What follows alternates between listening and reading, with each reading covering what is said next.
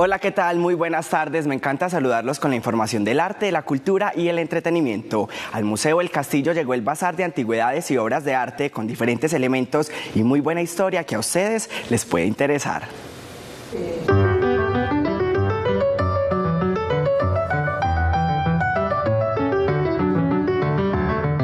A las instalaciones del Museo El Castillo llegaron cientos de objetos que cuentan historias.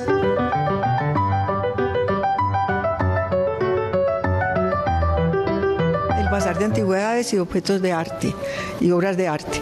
Eh, ¿Qué pretendemos con esto? Con esto eh, nosotros queremos que la gente entienda el valor que tiene todo este arte decorativo y que eh, realmente aprecie todos los valores artísticos y culturales que encierran cada una de estas piezas.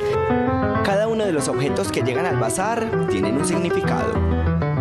Cuando tú hablas y haces la referencia a las familias, pues todos recordamos cuando eh, en, las ocasiones especiales era la vajilla, era el cristal, o recordamos aquellos objetos como los bronces, como el juego de té que tenía la mamá o la abuelita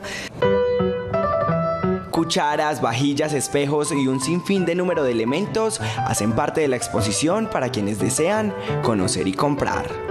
Los coleccionistas encuentran aquello que complementa su colección. Las personas que por cualquier eventualidad perdieron una pieza de su vajilla o del cristal o algo, en muchas oportunidades encuentran el repuesto en el castillo, por decirlo de alguna manera. Y hay otras personas que necesitan decoradores, eh, en fin, eh, personas que en este momento, arquitectos que en este momento tienen a su cargo el amoblamiento de, de, espacios contemporáneos, pues siempre buscan la pieza que le va a dar un toque diferente a esa decoración. El Bazar de Antigüedades y Obras de Arte estará hasta finales de mayo en la sala de exposiciones del Museo El Castillo.